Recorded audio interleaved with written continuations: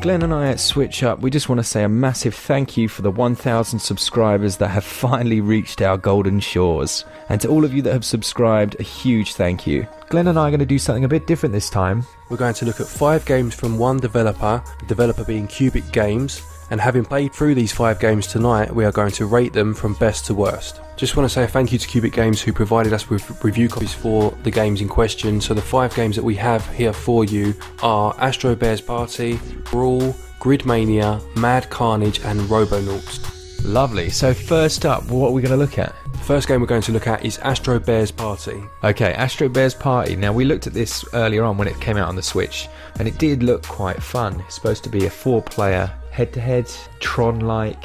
Well, how would you describe it? The basic idea is that you are on a, a sphere. As Mark said, it kind of looks like Tron, uh, Snake, if you remember that on the old uh, Nokia phones. So you are traversing the planet with your character, your bear, and you need to try and almost trip the other player up with your line of paint, would you call it? Yeah. That's com- coming out of your bear, as weird as that sounds. Yeah, that's not a good image, is it? um, but that's that's what it seems to be. I quite enjoyed the game, and for the price of around about three or four pounds, about five or six dollars, it's quite a good game. If you've got about well, if you've got four mates to play it with, it's going to be a lot more fun than the two of us. That sounds so sad, but actually, we still enjoyed it. For a drinking game, it would be amazing.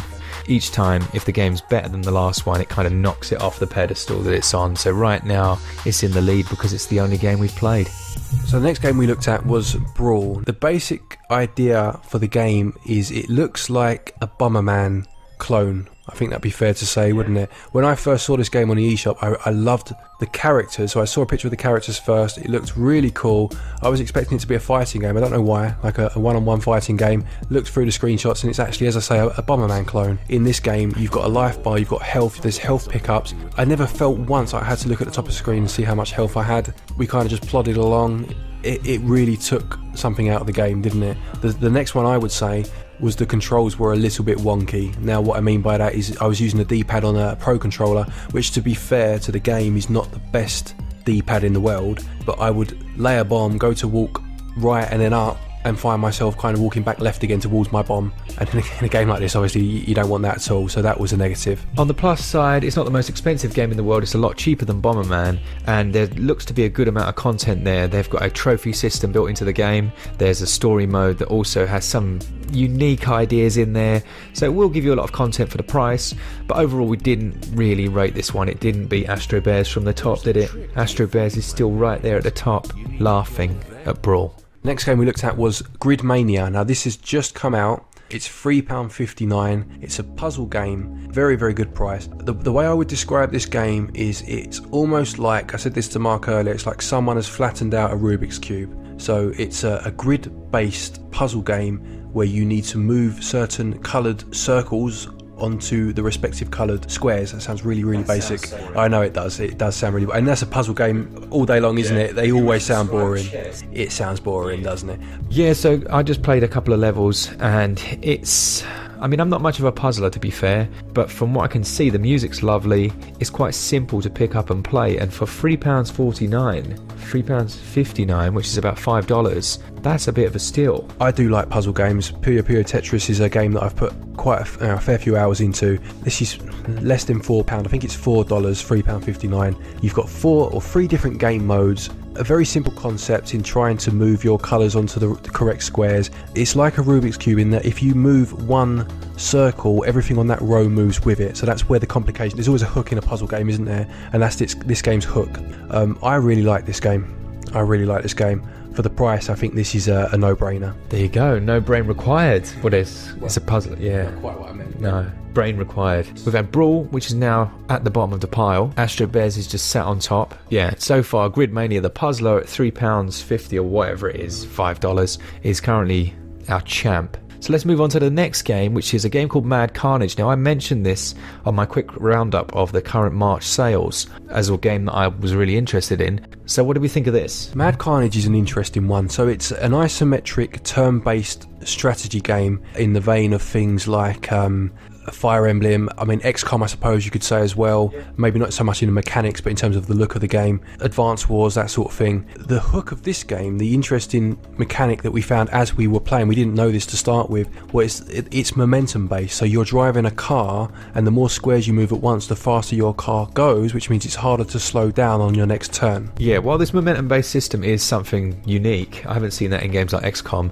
In actuality, it's not that fun. That annoyed me, like not being able to make the move that I wanted to make to avoid the enemies. But it's not actually as fun a system as XCOM where you can control people and move them exactly where you want to go, have them guard a position and things like that. But it's a very crowded field. There are lots of games like that. You've Mario and Rabbids by Ubisoft. You've got Disgaea. So there's a lot of that on Switch already. So they have to distance themselves. And for five pounds, I want to play it. Like like right now, I want to play that again. So for me, that's up there with Gridmania. Gridmania, which was also which was our current number one. So we're going to have joint number one at the moment. Gridmania and Mad Carnage, both really good games for the price. Outstanding value. Final game.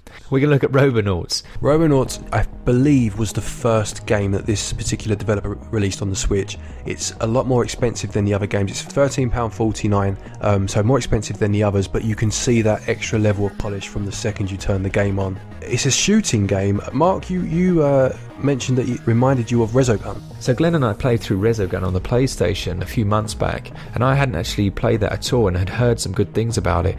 This really reminded me of that. You can move all the way around these individual planets, and then you can press X to jump from planet to planet. Now, we also said that on the eStore, we don't think this game really does itself justice because the videos for the game don't really give you an idea of how it plays, and it is a really interesting and fun game to play, and we enjoyed this a lot. From the pictures on the eStore, without reading any of the blurb, this looked like a physics based platformer. It's not that at all. It's a shooting game, so you have to move around the sphere, around the planet, shooting all the enemies. It doesn't have the defender based mechanic of Resogun. You're not defending anyone, you're not helping anyone survive. It is more expensive than the other games, but it was quite fun and it does have two player co op as well. Yeah, as you probably know by now from our top five co-op games of 2018, which is doing really well. Check it out.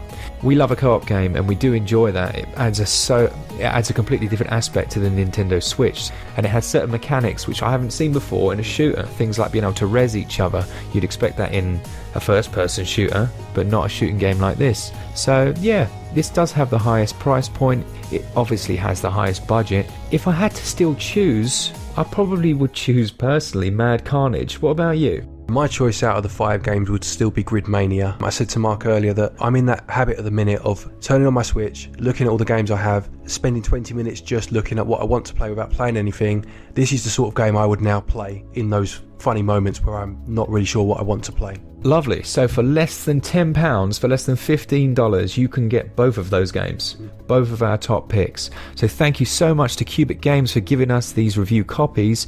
You've made some outstanding games. There's definitely some room for improvement on some of them, but isn't that always the way? Yeah, thank you very much for the review copies. Yeah, some of the games were average. Brawl wasn't great, to be fair. Astro Bears is fun in very, very short bursts. Mad Carnage, Mark liked more than me, but I'm sure I'd get some enjoyment out of it. Gridmania, I did like quite a lot. Robonauts seemed fun, to be fair, didn't it? If you like this style of video, let us know, and maybe we could do something similar for another developer in the future. Thanks, guys. Thanks so much for watching the channel. Thanks for liking and subscribing. We appreciate every single comment that goes on down below, and we will see you all on the next one.